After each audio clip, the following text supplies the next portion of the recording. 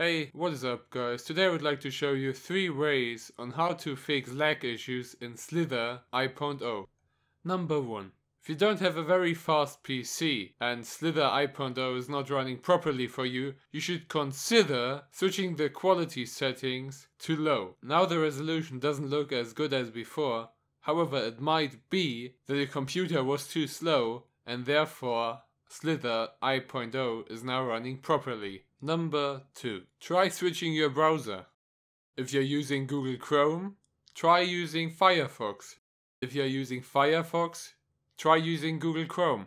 However, never use Internet Explorer. Slither.io is not compatible with Internet Explorer. Number 3. Set the priority of your browser process to high before you start playing. Whenever this feature is enabled, your CPU will put more focus on the process you chose, and if you don't have a good system, the lag might actually disappear. I hope I could help you. If I did, please leave a like and a comment.